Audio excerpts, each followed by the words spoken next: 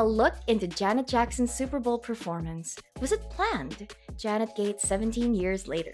Every year, football fans from all over the world huddle up to cheer on their favorite teams at the Super Bowl, and pop culture fans race to their television screens, awaiting to see a star studded performance at the halftime show. Halftime shows would go from a bathroom break and snack reloading session to an eyes glued to the TV shift when Michael Jackson gave an iconic performance back in 1993. Janet Jackson would follow in her brother's footsteps in 2004 when she was asked to perform at the Bowl's 38th annual halftime show.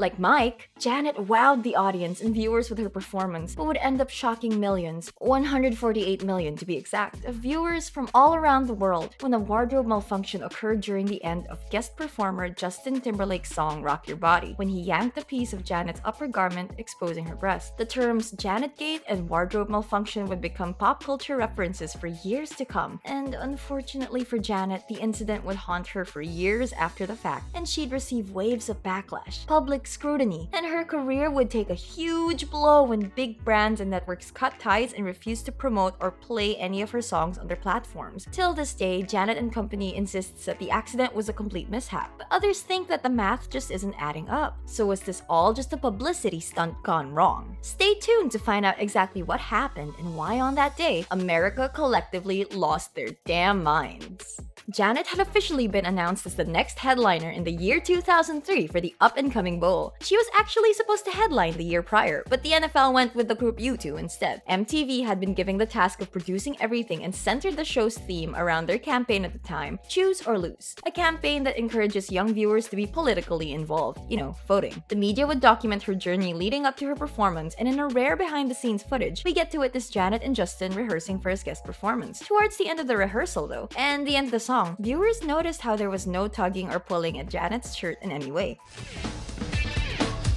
My decision to uh, change the Super Bowl performance was actually. Instead, the duo would end the show facing the audience, nothing more and nothing less. As we all know by now, Justin would end up yanking at Janet's breastplate, exposing her chest accessorized with a silver piercing, and things clearly wouldn't go as planned. Or did it? According to Justin, the plan was to pull away the rubber bustier to reveal a red lace bra, but the garment had collapsed. Janet's exposed upper area was only shown for a few seconds, but those few seconds were long enough to cause an uproar the following day, many speculating whether or not this had been a planned attention grabber.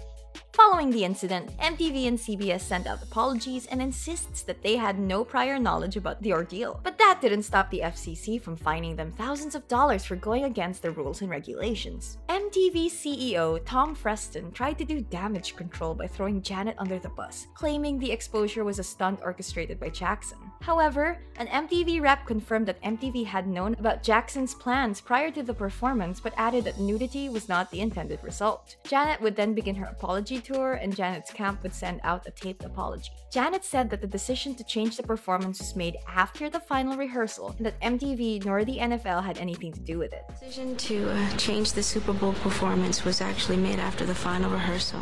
MTV CBS, the NFL had no knowledge of this. She'd also expressed how she thought the accident was being used by the media in order to cover up other things, such as the possible war with Iraq that ended up coming to fruition.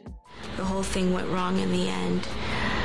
I am really sorry. She'd apologized time and time again. But that wasn't enough for CBS Chief President Les Moonves, who said that the whole thing caused him extreme embarrassment and told sources that he didn't think Janet at all was remorseful. He banned Jackson and Timberlake from the 2004 Grammys that aired on CBS the following week. Unbeknownst to Janet, Timberlake was allowed to perform after he allegedly gave a tearful apology for the incident. Ooh, shady. Literally, if by any means necessary was a person. Les Moonves ordered Viacom properties, VH1 and MTV, and all Viacom owned radio stations to stop playing Jackson's songs and music videos, which brought on significant consequences to the sales of her album, Damita Jo. Janet's apology tour Encore ended with an exclusive interview with Oprah back in 2006. It's best that I do, so I did. Do you think in any way that don't do the French. Do you think him ripping the whole thing off? Is that what you're no, talking no, about? No, no, um, when the idea to change the performance at the last minute, paired with the suggestive lyrics of JT's song, convinced folks that this was nothing but a sad attempt at stirring up the pot. So, was it an attempt at controversy? Let's break it down, shall we? Ooh, our writers did their research. Janet's closing outfit change was an Alexander McQueen exclusive, but Janet said she didn't blame the designer for the incident, stating, he wasn't the one that ripped it. In an interview with USA Today Sports, tailor Marcelo Garzon said that Janet had asked him to alter the leather outfit she brought to Houston to wear during the halftime show, and that she made him sign a confidentiality agreement beforehand. Okay. Piercer, Birya Daly, stated that Jackson's stylist at the time, Wayne Scott Lucas, Janet's the bomb, the body's the bomb. I'm lucky enough to have the most amazing thing about Janet. walked into the shop and asked for a piercing for Janet. Lucas settled on a sunburst nipple shield. Birya said, at the end of it, while we were talking, he was like, okay, watch the halftime show. There's going to be a surprise at the end. I think it's quite interesting that people who are talking about this are all men, though. I don't know. What do you think? Birya also claims that Wayne only had bought one piercing. FCC chairman Michael Powell stated, To this day, despite some ambiguity about who knew what, I think we were relatively convinced that somehow those producing the show knew what was going to happen. Their story to this day was that they had absolutely no idea on how the artists just did this up on their own. That's plausible, but didn't seem to us where the evidence pointed. MTV producer Sally Frattini, who also was the first woman to ever produce a Super Bowl halftime, said that the production team first experienced with Justin pulling off Janet's skirt without her being exposed completely. The idea was pitched to Justin, Janet's stylist, or whoever else was in the room. Justin went along with it and the mistake happened. There wasn't supposed to be any reveal. There shouldn't have been an action moment or anything ever ripped off her body. So with all that being said, was Janet Gate actually planned? Well, no one seems to have a definite answer. Janet and Justin continue to claim that the incident was all a crazed accident. What's even crazier is that the NFL would ask Justin Timberlake to headline 2018's halftime show, to which he received insane amounts of backlash and would spark the hashtag Justice for Janet on Twitter. He issued an apology to Janet and ex Britney Spears and an Instagram post earlier this year where he talks about not getting the same amount of backlash due to sexism and him benefiting from white male privilege. In JT's defense, ugh. This wasn't the first time he acknowledged his race and sex being a contributing factor. In an interview with MTV News circa 2006, he acknowledges how sexism plays a part. He goes on to say that people are harsher on quote unquote ethnic people. Uh huh. Okay, look.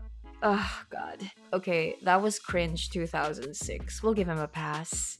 fairly harsh on ethnic people. Living in an era of new enlightenment, the climate today has become much focused on women's rights and racism, and we don't think Janet would have gotten nearly as much hate if something like this were to happen nowadays. Before Justin's Super Bowl performance, the NFL came out with a statement regarding Janet, stating that she wasn't exactly banned from the show.